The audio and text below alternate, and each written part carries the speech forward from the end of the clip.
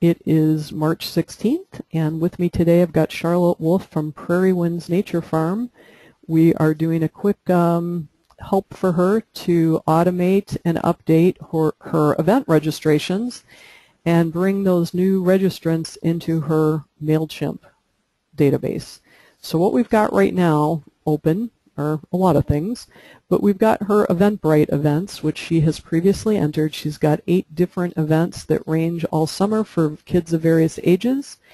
And the first thing that we need to do is we're trying to send out an email to her um, to kids parents who have not yet registered their children. We don't want to keep hammering everybody on the database with the same message. We don't want to send please get registered, please remember early bird registration ends soon to everyone. We want to keep taking out the people who have already registered. So one way to do that is to do it like this. We can go into Eventbrite, go into Event Reports, and we can click Show Event. We're going to do all events, or let's do all live events. That'll that'll give us the ones that we we want. Uh, select all live events. Let's make sure those are all that we've got for the 2015 season. It looks correct. And for right now, since she hasn't sent any emails out yet, we're going to just say date ranges since sales started.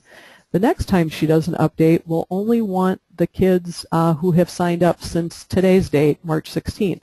So next time Charlotte runs this report, she can change um, it to a custom date range and update it for the last time she ran the report.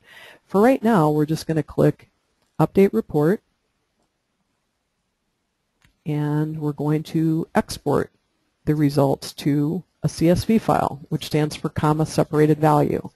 Next, we're going to come over to MailChimp, and we're going to go into her list, which we will edit or manage. We have previous to this um, set up, excuse me, uh, different segments.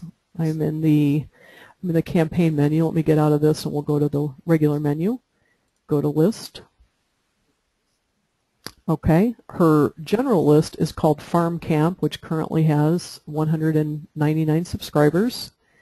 What we're going to do is we are going to, I got to tell you, this gets me a little baffled sometimes too. We're going to add subscribers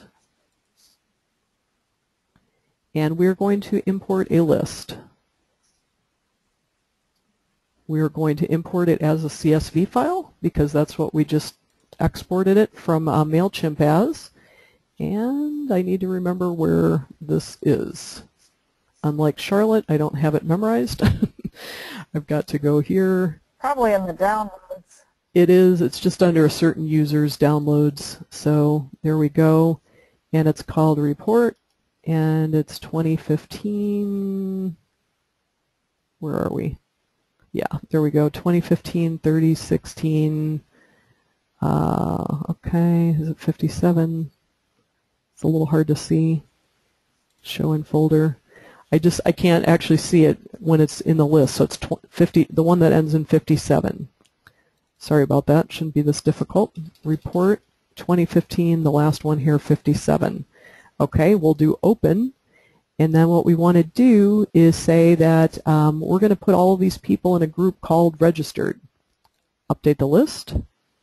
And whoop, okay. Um, we don't really need to say which one, which event they've registered to for our purposes here. That really doesn't make a difference. We're going to skip this one. We're going to skip this one. We can skip this one too. We can skip quite a lot. First name we're going to save. Last name we'll save. And then email address obviously is critical, so we're going to save that and we're going to skip the rest for now. We don't need to match any of the rest of these columns. Okay, if we wanted to make this a quicker process, you could actually eliminate those columns, you know, before importing into MailChimp, and that would, you know, make it quicker, but that's fine. Okay, and then we're going to go ahead and do complete the import.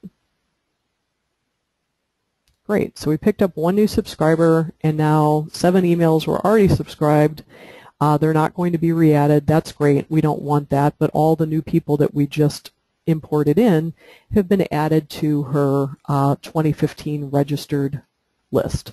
So now when she goes in to create her campaign, she can do so and she can amend the list to only be sending them to the people who are the non-registered.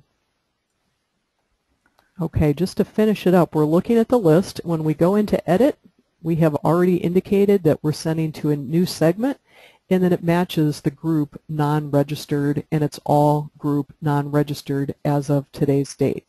And so then you just go ahead and go through the MailChimp uh, selection, do your design, do any other changes that you want to do just as you normally would. So Charlotte, will that save you some time?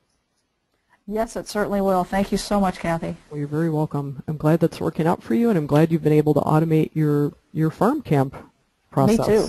Yeah, great, great job.